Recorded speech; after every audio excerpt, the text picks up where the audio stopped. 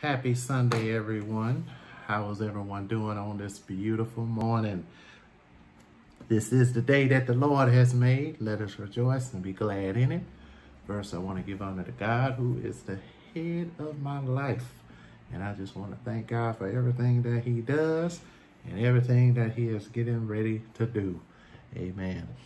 Today, I want to read uh, Psalms 27 and 4 one thing I have desired of the Lord is that will I seek after that I may dwell in the house of the Lord all the days of my life.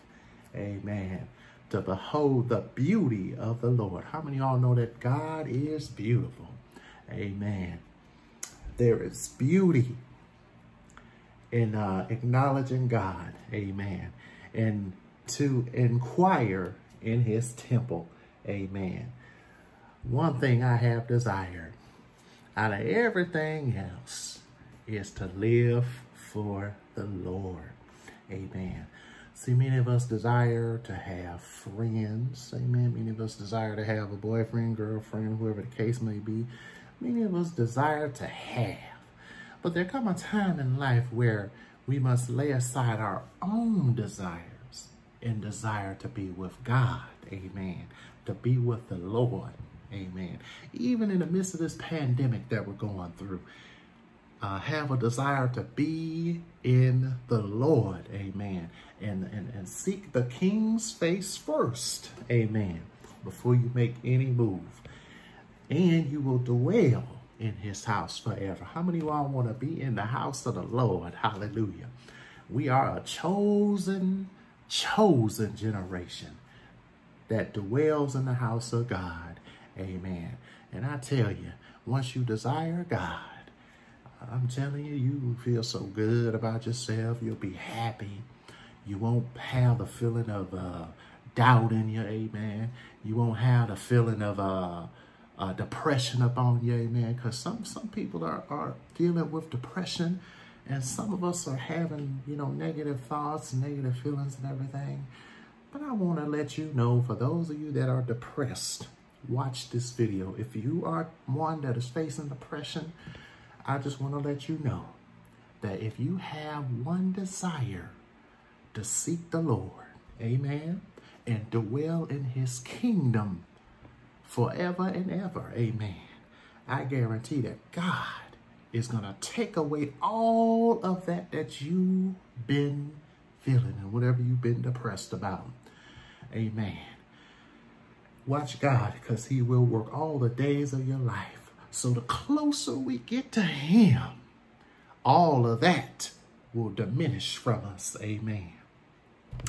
And we will live in the beauty of God. Amen. How many of you all know that God is beautiful? See, we may go to the park, take nice pictures, and look at the beautiful scenery and everything. But I want to tell you this right now, that if you land in the house of God, amen, it's going to be even beautiful. And it's going to be oh so sweet. Mm -hmm, I tell you, it is. Amen. How many of y'all know that the Lord is a sweet smelling Savior? The Lord is sweeter than the honeycomb. Hallelujah. The Lord is sweeter than sugar. Amen. The Lord is sweeter than a, a delicious piece of living pound cake. Amen. Speaking of that, I'm showing mine one right now. But, you know, my one desire is to be in the house of the Lord so I can inquire in his temple. And this is such a good verse, uh, Psalms 27 and 4.